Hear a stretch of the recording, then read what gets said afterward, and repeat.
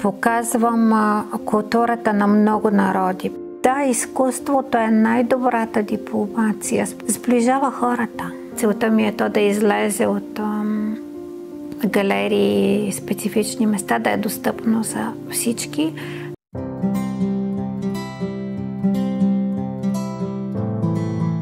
Казвам се Петя Елиева, художник съм. Много години, повече от 10, показвах българската култура по целия свят, на 6 континента до сега. Реших, че е крайно време българите да видят на какво ни се радват хората. Първият проект беше по Софийските улици, декорирах 32 електроразпределителни кутии.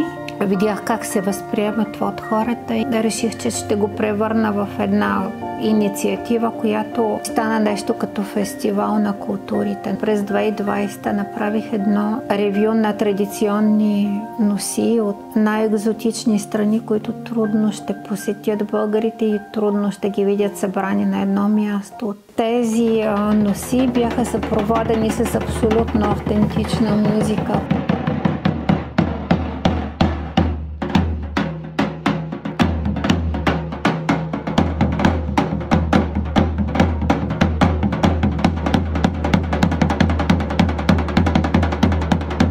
София е една от, от първите столици с електрически транспорт. Реших, че хората трябва да знаят. Това е причина за гордост. Първите трамваи преди 120 години са построени с помощта на белгийците. Реших, че ще декорирам един трамвай, който се движи по линия 10. Там подбрахме природни пейзажи, архитектурни смърфове, защото а, трябваше в цялата галерия на колела да има нещо забавно, нещо атрактивно да привлича децата и младите хора. Те са и национален символ на белгийците. Разбрах, че се навършват и 80 години от първия тролейбус в София, който е следващата инициатива да направи един тролейбус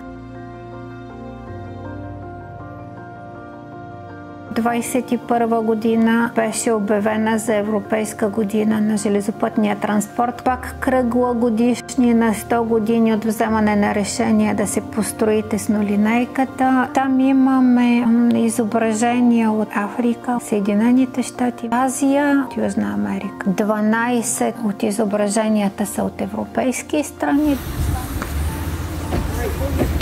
На този момент нищо не наричам мечта. Всичко, което поискам, то е първо е желание, след което се превръща в цел, след което го реализирам.